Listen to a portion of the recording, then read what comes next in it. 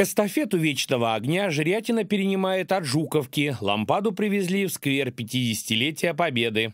В эти праздничные сентябрьские дни, когда Брянщина отмечает 80-летие освобождения от немецко-фашистских захватчиков, на центральной площади города Жуковки, города партизанской славы, у «Вечного огня» мы приняли эстафету от Дубровского района – это самое святое место в Жирятинском районе. Сквер имени 50-летия Победы.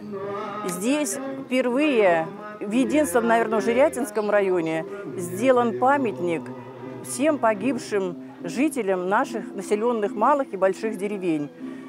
Сюда приезжают их родственники, поклоняют, привозят цветы. Деревень уже, к сожалению, нет на карте они существуют, а в жизни их просто нет. Но памятник вечный, у вечного огня стоит русской деревне. Монумент в центре Жирятина воздвигнут на могиле 30 солдат. Воины погибли при освобождении Жирятинского района 20 сентября 1943 года. Здесь в 2013 году прошла реконструкция памятника.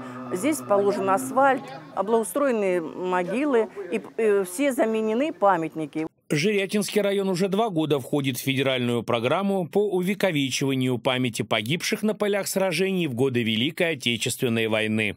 По этой федеральной программе э, мы уже отремонтировали три памятника.